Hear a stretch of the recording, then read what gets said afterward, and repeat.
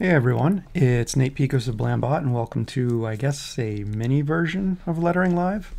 Um, I just wanted to quickly show you an action I've been working on in, in Adobe Illustrator to make uh, tapered balloon connectors, and I know that's probably something you think I should have been doing way before now, but um, I tend to just prefer my balloon connectors to be uniform at both ends, where you know where they connect to the first balloon and the second balloon it's the same width.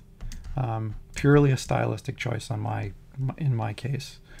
Um, and I have an action set up to make these quickly where I can just draw a line, make a curved line, and ta-da, it becomes a balloon connector that I can just go in there and unite to my balloons. So I wanted to come up with sort of a similar way, a similar action to create a tapered balloon tail, which is, you know, the more traditional version. Um, it starts wider at the beginning balloon and tapers narrower at the terminal end, the, the second balloon. So I thought um, my best guess as to how to start this process for an action was to create a brush. So this is an art brush. Um, this black shape right here is just a rectangle um, that I modified. So either side of this rectangle is curved. It's got a slight curvature to it. And the narrowest point is actually right about here. It's sort of um, maybe two thirds of the way from left to right, right about here. And it, it sort of uh, slopes up a little bit at the ends. And I've I designed this stupid object maybe eight or ten times before I found that this created the most pleasing shaped um, balloon connector. You know, I started out with just a rectangle that was narrower at one end, um, then just curves, and then moving um, sort of the apex of the curves from the middle to the two thirds of the way, and experiment after experiment until I got into this. And there's some work going on outside the studio today, so I hope that's not too annoying for you uh, in the background. Anyway, so here's where I got with this brush shape. And what has to happen to turn and, and to make this action useful is to take this brush and turn it into an object once you've got it. So essentially, I'm drawing that line like I did with my uniform balloon connectors. Um, then I have to turn it into that brush, and then that brush has to be turned into an object um, that has a white fill, a black stroke, the black stroke overprints, and it drops to the back of all my balloons.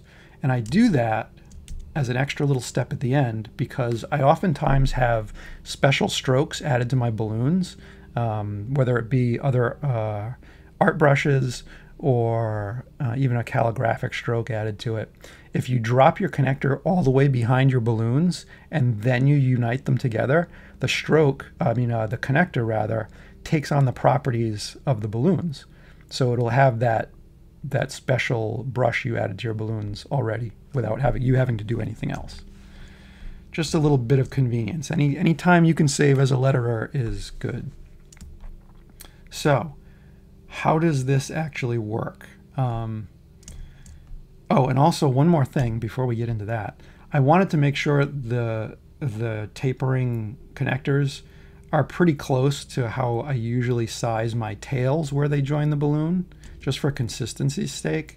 And here's a good rule of thumb if you're lettering.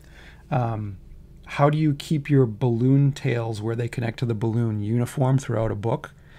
Well, you can sort of, if you look at the font you're using for dialogue text, and you, one of these letters should be able to fit right in here, you know, usually the letter O or something, and fit snugly right in there. And that's how you can sort of visually uh, quickly measure the width of your balloon tails where they join the balloons. So I wanted to, to mirror that here a little bit so that I wouldn't have to think about resizing anything and, and make the whole action pointless if I'm spending that much time.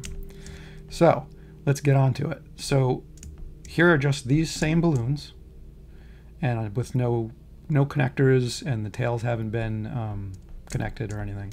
So just like the other, just like the uniform one, I'm going to draw a line, curve that line, and then apply that action key and see how it dropped it behind and it did everything and it sort of arced that uh, that curved rectangle shape into our connector. And I'd probably fiddle with this a little bit, like, oh, I want to, you know, bring it down or whatever. Doesn't matter, whatever. So to continue, we do it again. Just draw your line, hit your action key, and there's your connector.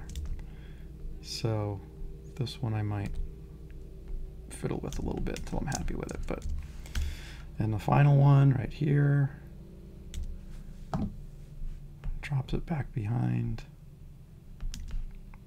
So you get the idea. So then, you know, the final step would be to grab these shapes and unite them impermanently. Same thing with these sets of balloons. And that's it. I mean, if you wanted to go the extra step and make sure your balloons are uh, in a, a, uniform order, whereas this balloon is behind this one, this one's behind this one, and this one's behind this one, you can use intertwine now. We have this fancy new um, object intertwine make, and it would be this one right here that we'd have to flip over to the back. But that's it. Um, if you've got a better idea of how to automate all this, I'm all ears. Drop me a line. Uh, but in the meantime, I'm going to continue to play with this. Thanks for joining me.